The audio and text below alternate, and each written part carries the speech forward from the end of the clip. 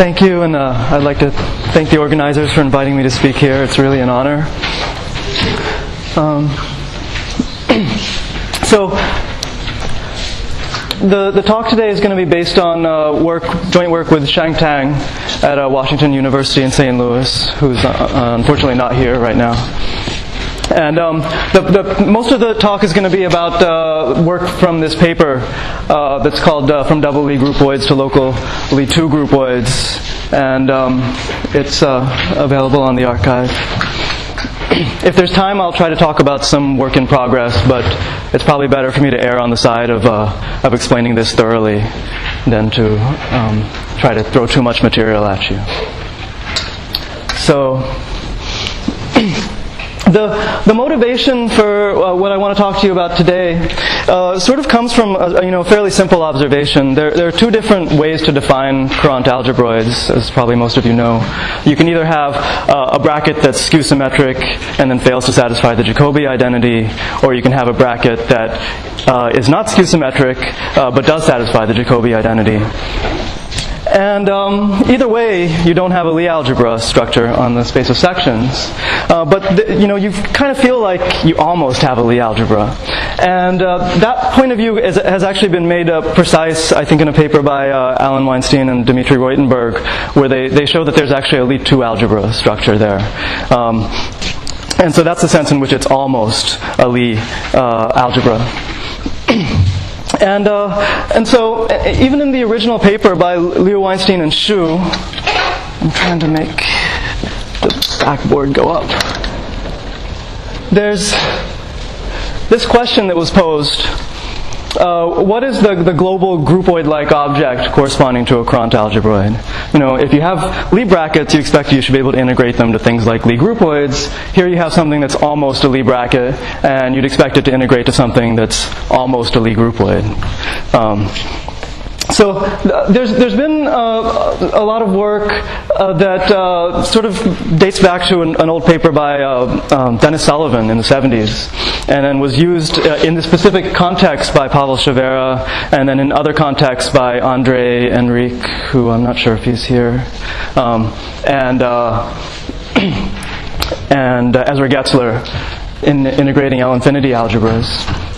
But uh, that approach used, leads to things that are infinite dimensional and um, can be kind of complicated to describe concretely. But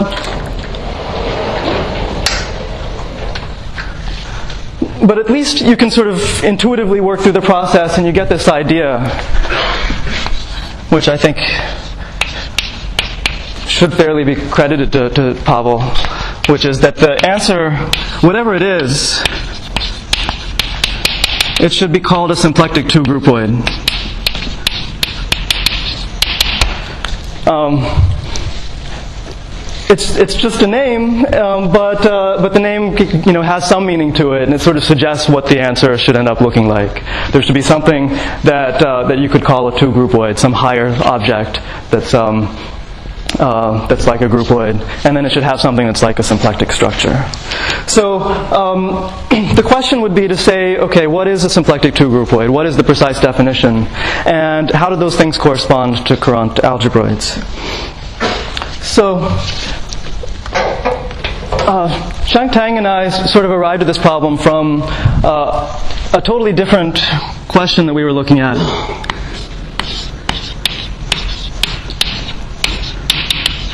We were studying this process that takes double Lie groupoids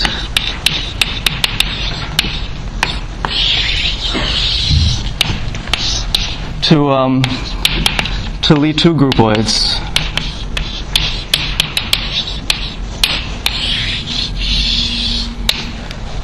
Uh, I'll say what those things mean in a second. But uh, and, and, there's a, a, connection to Utrecht, which is that we were interested in this because we were trying to understand a paper by um, Moerdijk and Mrčun about um, uh, the fundamental group of a stack. And that application is in the paper if you're interested, but I won't talk about that today. Um, but we realized that, okay, if you have something like this, wouldn't it be cool if you could just add the word symplectic to the picture?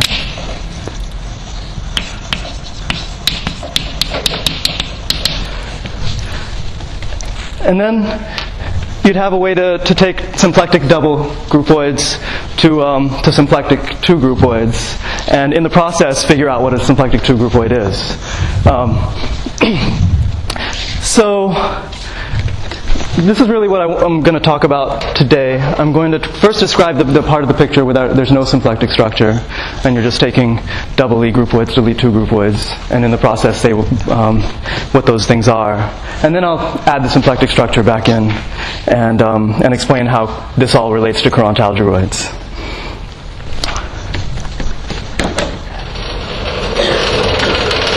Okay, so here's the definition of a double Lie groupoid.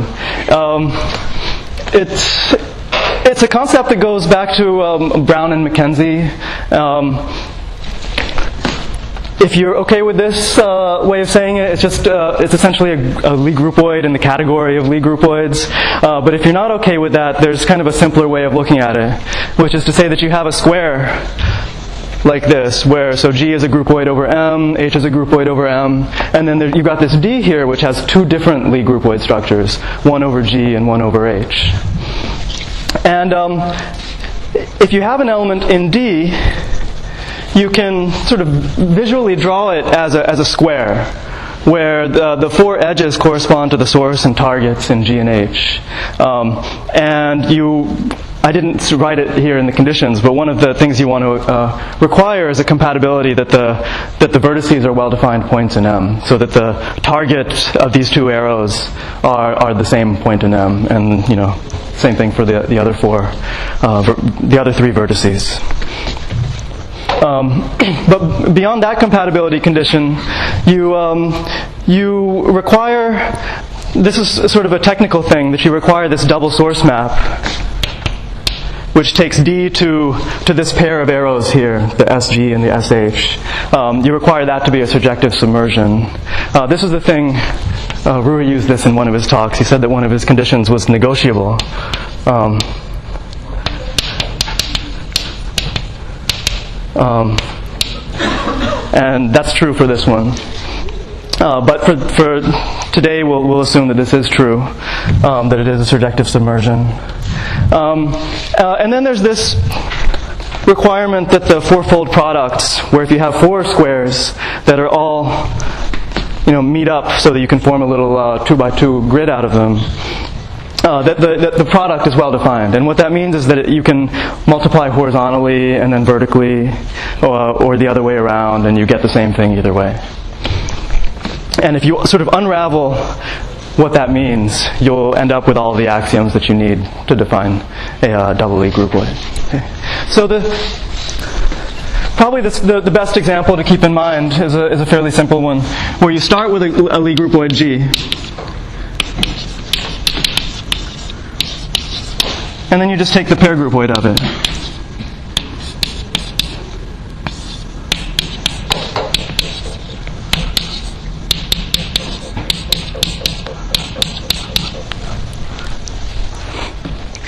That's a double groupoid. You can try to take the fundamental groupoids of G and M, and that's what we, we tried to do in our paper. And you run into some trouble, and you have to, uh, um, to, to have a more general construction to make that work. Uh, but in nice cases, if, uh, if, if you have the path lifting property, if G over M uh, is a, is a sub fibration, then, then you can do that as well. Um, So this is what uh, a double Lie groupoid is.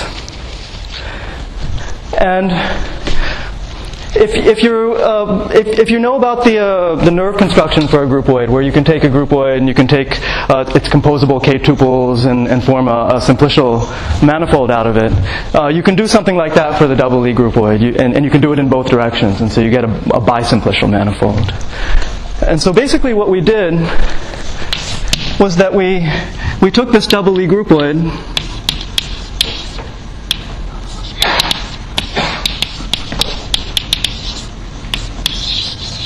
not, not this one, but an arbitrary one. And we turned it into a bisimplicial manifold.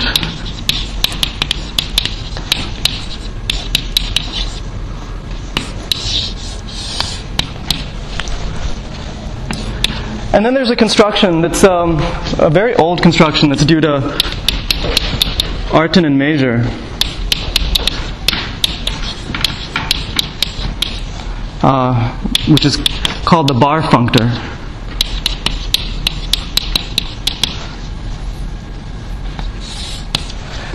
And that thing just basically collapses bisimplicial manifolds into simplicial manifolds. Well, they did it for simplicial sets, bisimplicial sets and simplicial sets, but the, the, you can throw in um, the smooth properties without any trouble.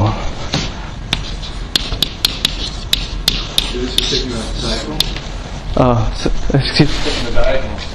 it's not the diagonal, but it's something where you're sort of uh, taking. Well, it's this diagonal, not not the thing that, that goes this way. Does that make sense?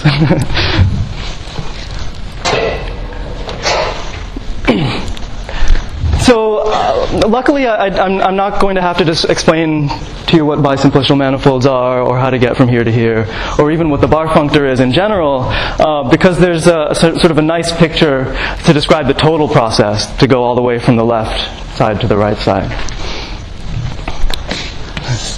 And so it looks like this. So you want to build a simplicial manifold, so you need to say what the zero simplices are, what the one simplices are, two simplices, and so on.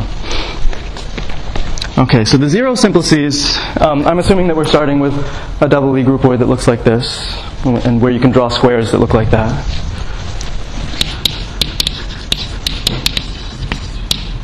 Okay, so the zero simplices are just points in M.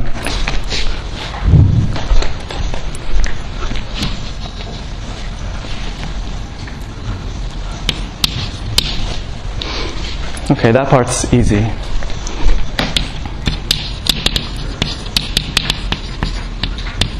The one simplices involves sort of taking a, a fiber product of things in H and things in G. And so the picture there looks like, I don't know if you can distinguish blue and, and green. Can you?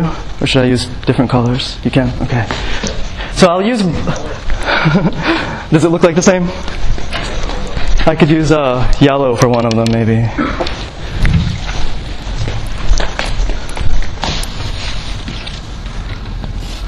And that looks white. Okay.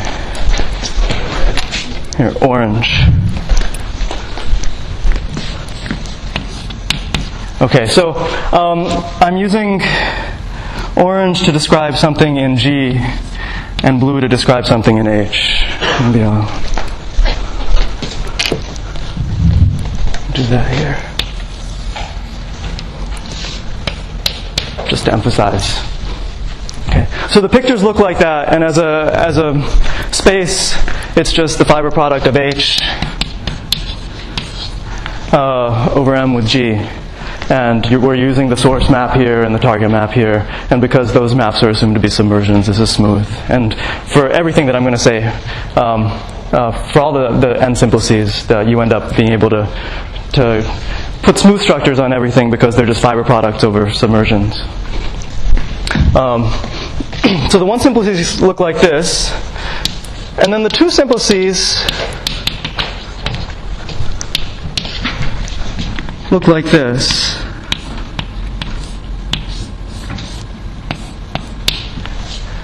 So you have H, this is something in H, this is something in D, this is something in G. Um, so H, things in H are yellow or blue. Things in G are orange, but I'm also going to color the, the boundaries of, of alpha because those those are in uh, G and H as well. Uh, this one's in G, and uh, this one's in G and then these two are in H. This should look familiar to you from David's talk, um, where, where he was looking at squares that had colored boundaries. Um, that, and, and he actually had double groupoids appearing in there. And he, he had double symplectic groupoids. Um, so he was one step ahead of me uh, in this. Uh, but this is what the two simplices look at, and if you look like, and if you look at this carefully enough, you'll actually see um, you don't just want to describe the simplices, but you want to describe maps. Uh, three maps that go from here to here two maps that go from here to here. Hopefully those two maps are uh, obvious. Uh, but the three maps maybe wouldn't be obvious if you didn't have this nice picture. Um, but if you look at this, you can see exactly three things that, that look like this. There's, there's this little shape here in the corner, there's this one up here, and then there's a big one that goes over the top. And those are exactly the three maps that go from here to here. And in general, the the, the n simplices sort of have something in H, and then they have a sort of triangular array of things in D.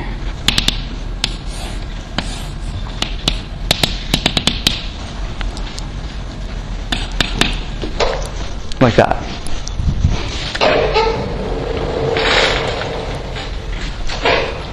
So even though we're talking about, you know, n-dimensional things, really, uh, we're able to draw a two-dimensional picture of them, which is convenient.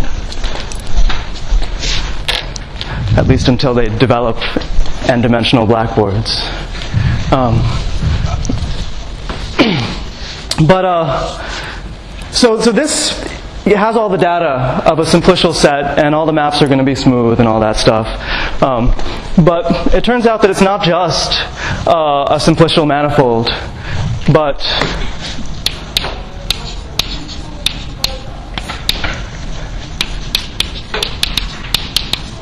it's a two groupoid, a Lie two groupoid.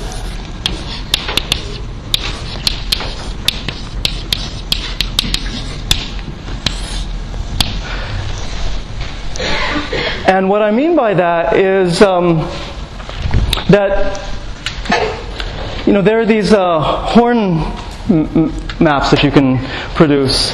Uh, so, say for example, from the two simplices, uh, you can just sort of take any any two of the three edges, and and then you, will get a pair of one simplices. So you can take this, this edge and this edge and you get a pair of one simplices. Or you can choose to take this edge and the big edge, get a pair of one simplices.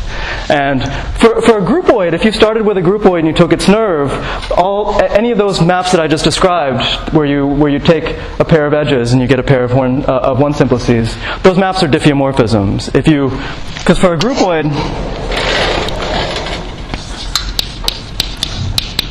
the two simplices look like this. There's, there's like a G1 and a G2, and then the other edge is G, G1, G2. If you know two out of three of these edges, then you know the third one because you can multiply and you can divide. Um, so for a groupoid, if you if you have a two simplex and, and, and, if you know two out of three of its edges, you, you can actually identify the set of two simplices with with the set of compatible pairs of edges. And, and that's exactly saying that the horn map is a diffeomorphism. So for a Lie 2 groupoid, it's the same idea, but it's one dimension higher. Uh, you require that, this, that the three simplices, if you take uh, if you take the three simplices and you take compatible uh, three tuplets of two simplices, uh, then the map taking a three simplex to all but one of its faces uh, is a diffeomorphism to the space of compatible triplets of two simplices. and, and of course, there are higher dimensional versions as well. Um, but essentially what it means is that you can stop once you once you've defined the two simplices that sort of has enough information. Uh, plus you need to have some sort of a, of a composition law. Um, but it's sort of similar to when you define a groupoid you just need to define points and and uh, arrows and a composition law but you don't have to explicitly define the two simplices or the higher ones. That's really what a two groupoid is. And intuitively you might say that because you can draw two-dimensional pictures of these things, it is a two, it, that, that sort of explains why it's a Lie 2 groupoid. Okay. So, um, so that's the, the general construction um, that I described earlier that takes double Lie groupoids to Lie 2 groupoids.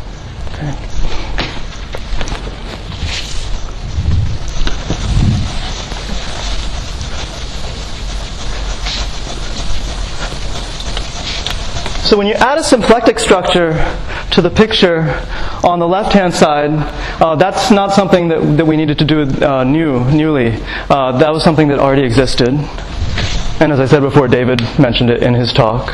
Um, so a double Lie groupoid is uh, symplectic.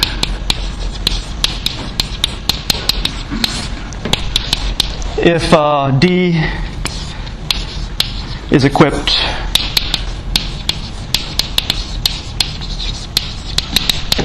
with a two form, uh, a symplectic form,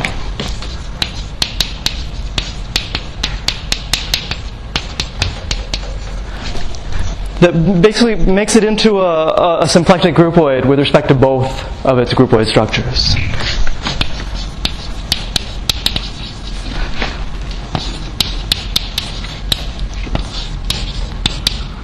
Uh, D over G and D over H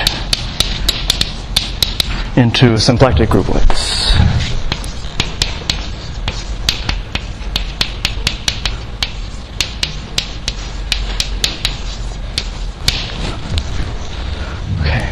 So this is a, a notion that um, I think first appeared in a, in a paper by uh, Liu and Weinstein, um, where they constructed the double symplectic groupoid of a, of a Lie bialgebroid, which is the, the thing that, that David talked about in his talk. Um, and the sort of a general theory was developed by, by Kirill Mackenzie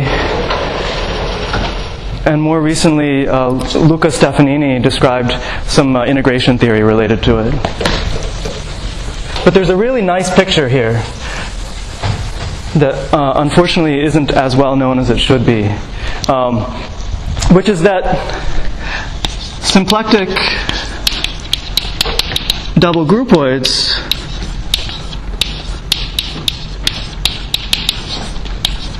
um, you don't really have to say Lie because if, if, you have a symplectic structure, then you probably have a smooth structure already. Um, that symplectic double groupoids are the things that integrate Poisson groupoids. So I'm, I'm writing the arrow in the other direction because that's the differentiation.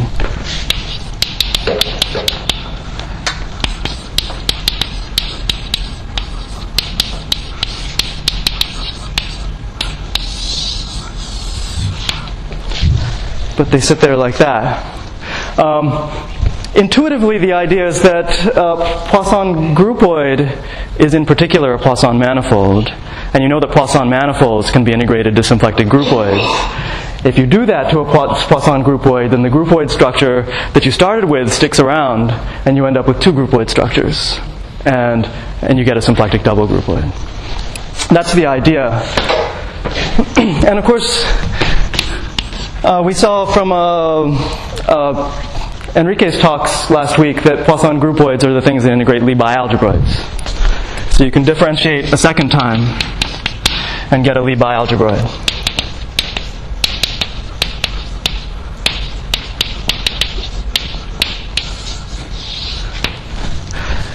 And I'd like to argue that really the, the Poisson groupoid is, is, the, is the odd thing in this picture because it's sort of anti-symmetric with respect to the two Lie structures down here or the two groupoid structures down, up here. You sort of have to pick a direction uh, to differentiate or to integrate uh, if you want to go from any of these two guys to the thing in the middle.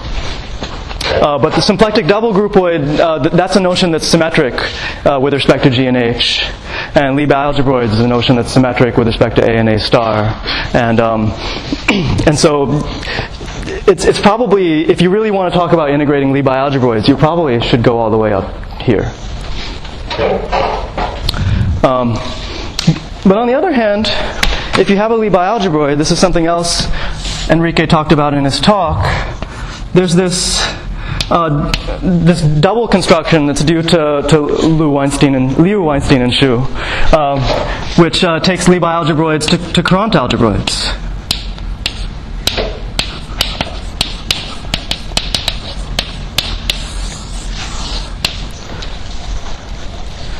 So now you can sort of see how symplectic double groupoids are related to Courant algebroids. You could actually start with a symplectic double groupoid, go all the way over here, and get a Courant algebroid out of it.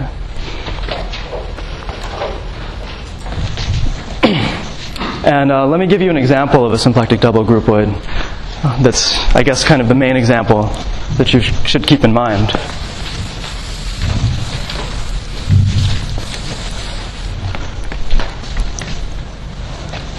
It's just a special case of the of, of the double groupoid I showed you there. Um, take any manifold and and take its cotangent bundle, but view it as a groupoid. You know, where the source and the target are just the projection map, and the, the, the, the composition is just addition in the fibers. That's a symplectic groupoid.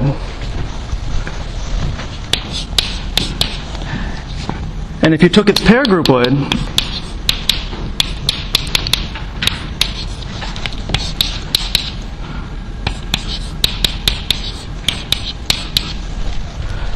that would be double symplectic as long as you're careful to, to put the appropriate signs on the, the symplectic forms on the, the two copies of T star M. So this is uh, a symplectic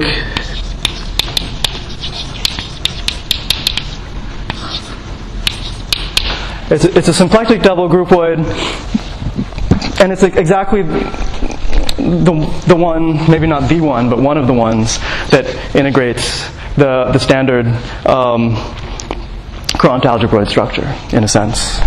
I shouldn't say integrates, but that gives you the, the standard Courant algebroid structure if you go all the way through this process. Uh, the Lie bialgebroid it corresponds to is just Tm, T star M, where Tm has the canonical Lie algebroid structure and T star M has the trivial one. So, so you'd get Tm, T star M, and then if you turn it into a Courant algebroid, you get Tm plus T star M. So you get the standard Courant algebroid, which is, you know, safe to say that that's probably the main example of Courant algebroids that we care about. Um, there are others, obviously, but this is the big one.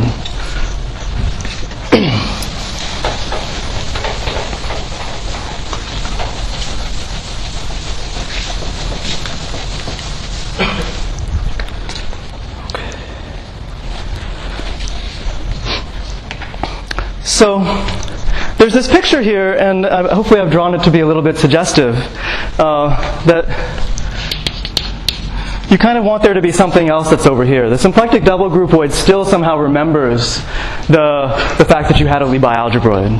And you're sort of, when you take this double structure, you turn it into something where you, you, you kind of want to throw away the fact that, that, that your Courant algebroid is, is the sum of two Lie algebroids. Um, and you just want to think of it as being something in and of itself. So you want to do something up here that, that throws away the distinction between G and H. And this, this process that I described up here seems to do something like that. So the idea, and this is a, a little bit of a linguistic argument, but the idea is that you turn this thing into uh, a Lie 2 groupoid, like a, uh, in that, using that process up there, you sort of see what happens to the symplectic structure that you started with over here. And whatever you get should be an example. It really deserves to be considered an example of a symplectic 2 groupoid.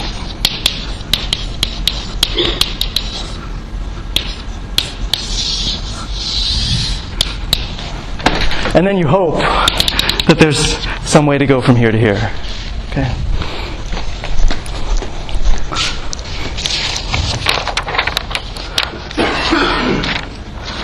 Okay, well, so let's just see what happens. Let's suppose we started with a double groupoid that was a symplectic double groupoid.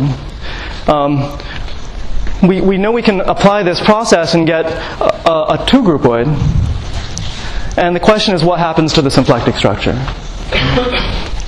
So uh, over there on the board on the top right, uh, I described the, the, you know, the low dimensional simplices of the two groupoid that you get.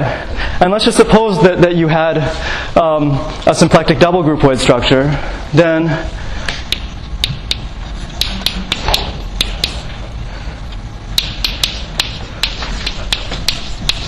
uh, symplectic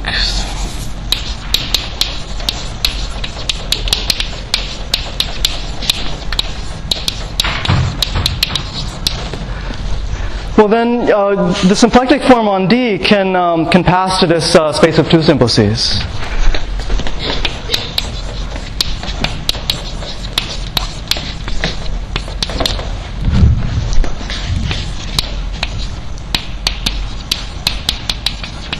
Uh, which is uh, H fiber producted with D fiber producted with G. So this inherits a two form. Okay, well let's hope that it's compatible uh, with the two groupoid structure. Um, so what can we say about this thing?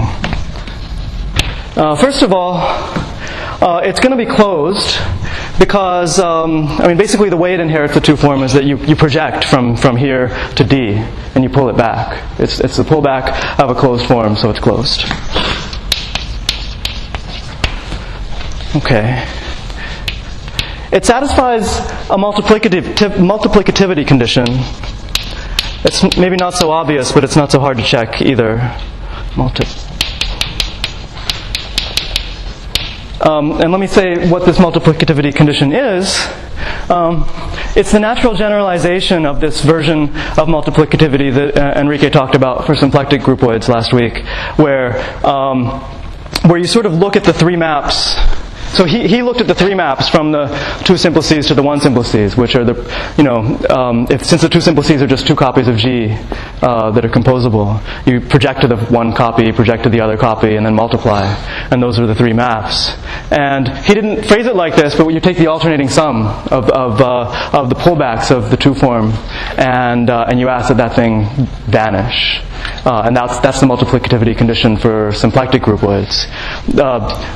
For symplectic two groupoids, the multiplicativity condition is, is the same thing but one dimension higher.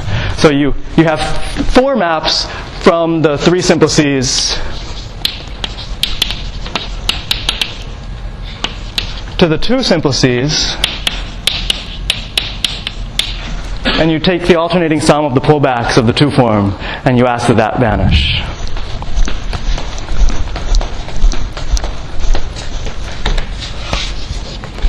So if the face maps are FIs, actually I need a minus 1 to the I.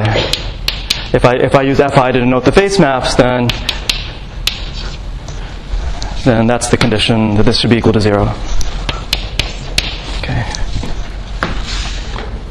Okay, and it satisfies this. If you start with a symplectic double groupoid, then the, the two form that you get over here does satisfy that.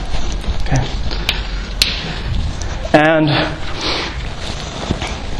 Okay, so this is nice, but of course there's one thing that uh, if you've, it, uh, probably many of you have already noticed that I've been uh, ignoring, which is that uh, this thing is clearly not um, non-degenerate. It, you're pulling back a two form along some, uh, a map that, that has fibers that are non-trivial in general.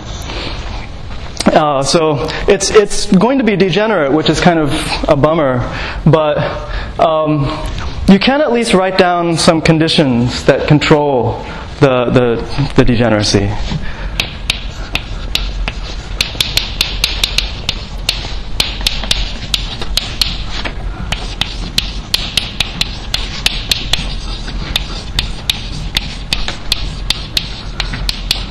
And if you're familiar with, uh, with uh, the definition of presymplectic groupoid that, uh, that Henrique gave last week, where there was, uh, it wasn't just an arbitrary closed multiplicative two form, uh, but there was some condition on the kernel.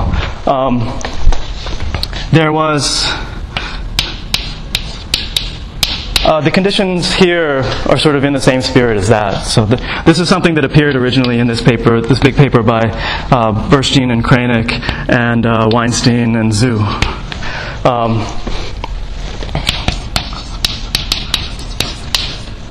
about presymplectic groupoids integrating Dirac structures. And uh, there's also a paper by Ping um, which uh, I think it's called quasi-symplectic groupoids, um, which also has conditions where they, they control a degenerate um, two-form. Uh, so the conditions are sort of in the same spirit as that. The, the main thing, I don't really want to tell you exactly what they are because they're a little bit complicated. But the, the main thing to take away from, uh, from this talk is that these conditions are completely defined in terms of the, the simplicial structure. It's completely determined, in, it's completely described by the face maps and, uh, and the degeneracy maps that go in the other direction. And so that allows you to axiomatize these conditions and sort of throw out uh, at least a, a, a, tentative definition of what a symplectic two groupoid is.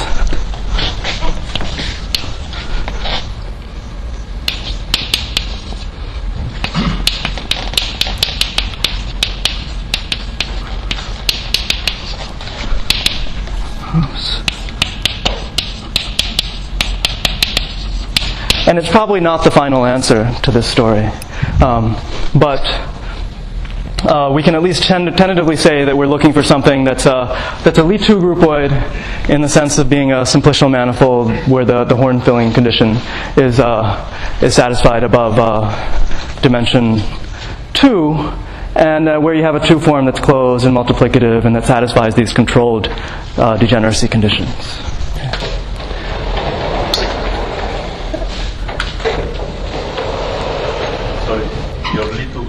are they uh, finite dimensional manifolds?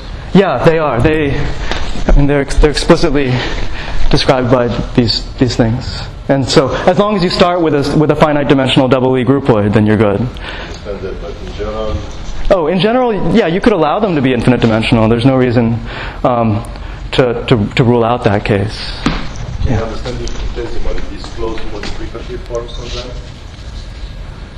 Um, so what are you saying? Yo, you want to t- talk about differentiating? Is that?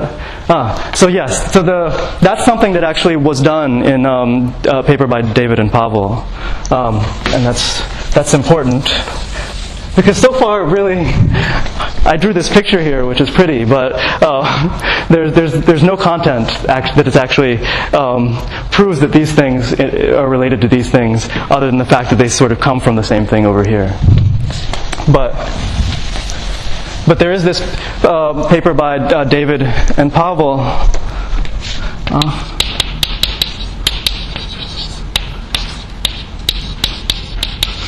where they did actually describe a way to do the differentiation, in particular to, to, to take the, the multiplicative two forms, the closed multiplicative two forms down. And, um, and they're able to, to, to verify that, that this, this diagram does commute. Um, but they, I, I, should point out that they also um, gave an alternative uh, description of a symplectic two groupoid, which integrates the standard Courant algebroid, and even for um, Courant algebroids that are twisted by closed three forms. And uh, and in their case, it's a local construction, but they actually have two forms that are non-degenerate on the nose. So um, so th- there's. Uh, an equivalence that you have to worry about. The, the, the, the, thing that they described and the thing that, that we get from this construction, um, both can be said to integrate the standard Courant algebroid. If you, you know, if you start with this, you get something that, that integrates a standard Courant algebroid. They, they describe something that integrates a standard Courant algebroid, and they're, they're different. Their two form is non-degenerate, our two form is degenerate. Um, and there's the question about why, why are these things, in what sense are these things equivalent to each other? Are your groupoids of the same dimension? Uh, yes, and in fact, they, as two groupoids, they are uh, isomorphic to each other. Yeah. Is it always implicit that you're only considering Courant algebroids, which are doubles? Yeah, that is important. Yeah, so this, this construction doesn't work if you don't start with a double, which means in particular you can't twist by a three form uh, unless you were to somehow generalize this in, in some way. Uh, but as it stands, it, it only works for doubles and, um, and doesn't work for, for twisted Courant algebroids. What was that? Probably have to go to three groupoids for that, I suppose. maybe, maybe. Yes. Oh, question. Oh. The, uh, you mentioned the tissue square. Yes. Um, yeah, so uh, we've, we've thought about that. Um, but yeah, then there might be a way to do that, to somehow enlarge this category here to, um, to allow for those types of things. But we haven't been able to, to make that work yet. Yeah. Um, okay. So I do have time, so let me just say something about the. I have 15 minutes still, or? Okay, great. Yeah, so let me say something about the infinite dimensional um, story, which maybe will answer some of Marius' questions. Um,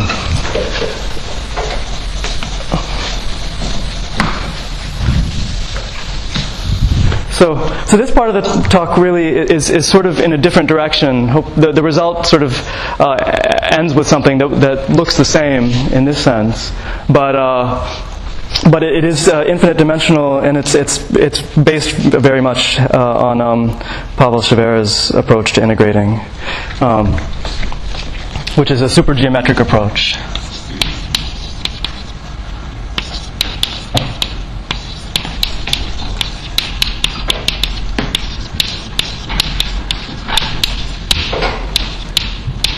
So I've, I've avoided talking about supergeometry explicitly, but, uh, but it's, it's behind the scenes here for sure. Um, so if you start with the standard Courant algebroid,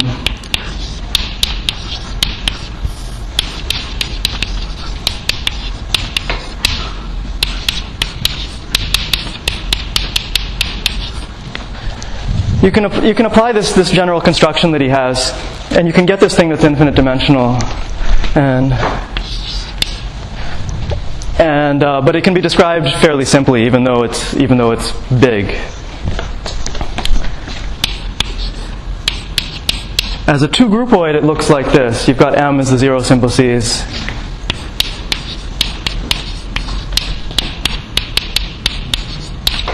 You have paths in T star M as the one simplices.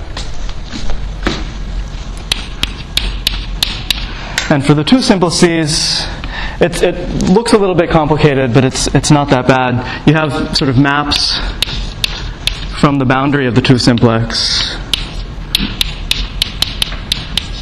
to T star M, uh, but they have to be filled by some homotopy class of things on the interior. So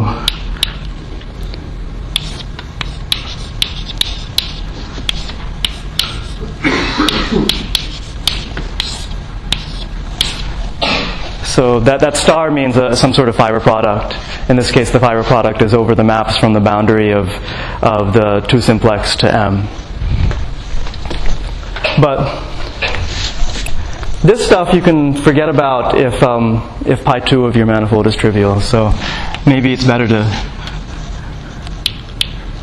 um, to just pretend that that's true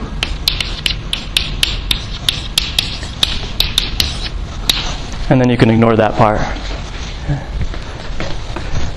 So, and of course you could go higher, but it's a, it's a two groupoid. So, uh, so this is basically enough information to describe the whole thing. And, and hopefully it's fairly obvious what the, what the face maps are and so on. Now this thing uh, you know, T star M has uh, a, a, canonical symplectic form on it, and and any anytime you have mapping spaces like this, you can you can um, you can get uh, a symplectic form on those things as long as you know how to integrate, and we know how to integrate along paths, and so we can do that. So this thing has a symplectic form.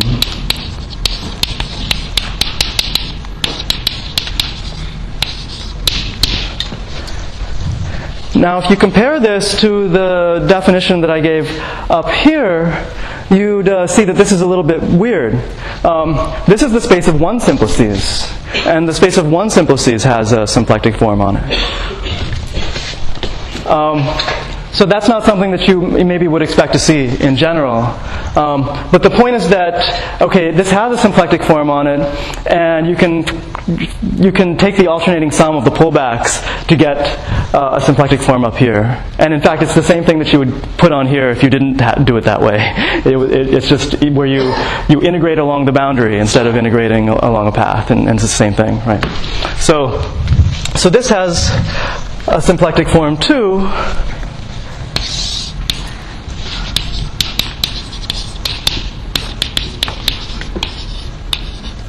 But it's just the, the simplicial differential of omega 1. And by simplicial differential, I mean that you took the alternating sum of the pullbacks. This part, even if pi, pi 2 of m is, triv, is, isn't trivial, this part is sort of discrete. And, um, and so you can ignore it for the purposes of putting symplectic forms on. So the point is that uh, this one, that you, you know, you had this t- uh, two form on the space of one simplices, but it wasn't uh, uh, multiplicative. So it wasn't a symplectic, it wasn't anything like a symplectic groupoid. But uh, you took the alternating sum of the pullbacks here, and because this thing is a differential, uh, now you've got something that is multiplicative and it's closed and it's non-degenerate, and so um, so it's a symplectic two groupoid. Now the just just so I don't have to keep writing all this out, I'll call this x2. Okay. Now the, the the general theory of this supergeometric approach tells you that if you had a Dirac structure that it would integrate to a Lagrangian sub 2 groupoid.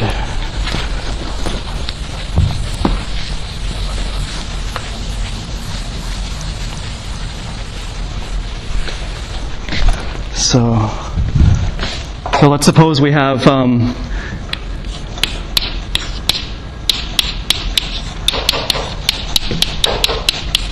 this Dirac structure. then this should integrate to this Lagrangian sub 2 groupoid. So I'll call the, the, the, the, space of two simplices here L. And that should sit inside the X2 over there.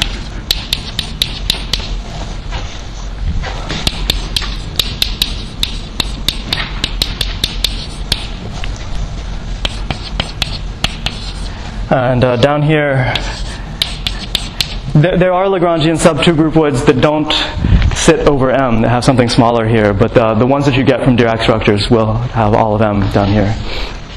And the thing that appears in the middle is actually just the, uh, the A paths.